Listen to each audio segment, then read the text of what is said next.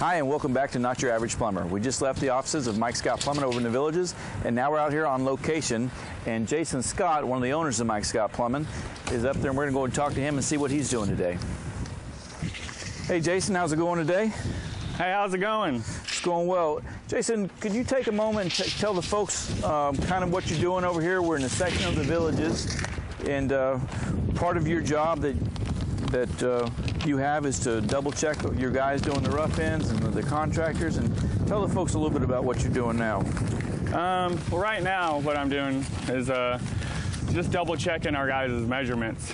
After they, after you do the pipes and they're pouring the concrete and stuff like that, everything just has to be just precise. Otherwise, they miss the wall and your plumbing's not lined up, and your toilet and everything else. Yeah, that's correct. Um, if uh, if our toilet's out or anything's out, we'll have to bring a chipping hammer and chip it up, and that costs us a lot more money and time.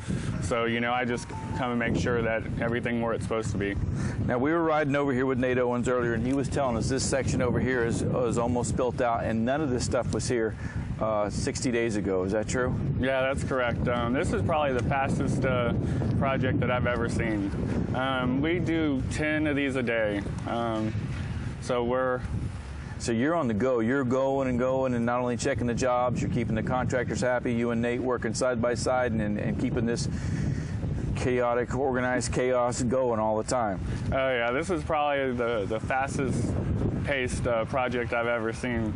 Um, you, will never find another project like this that uh, it's like a machine.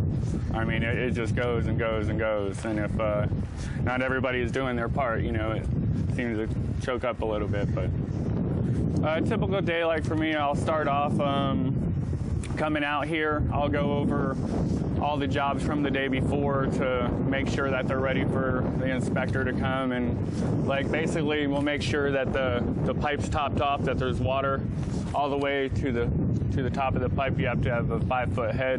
Um, we'll check the gauge make sure that there's a hundred pounds on the gauge and uh, we'll go over all the PVC pipe and make sure there's enough fall on the pipe and everything's saped in really well. So if other contractors come in, they're not pushing our pipes around. And, and basically, that's it. I just kind of tighten everything up a little bit. And, and, then after that, once all the inspections have been done, then I'll start um, coming behind the guys and make sure that that their uh, jobs are done correctly, that there's you know there's no mistakes, and and if anyone calls me in between there, I'll run over and take care of whatever they need, any of the supervisors or any of the other um, contractors. So Mike Scott Plumbing's actually been involved in this project personally for about the last 12 years. Yeah, that's correct. And I've been out here for about five years, but it seems like about 12 years since this place is just nonstop.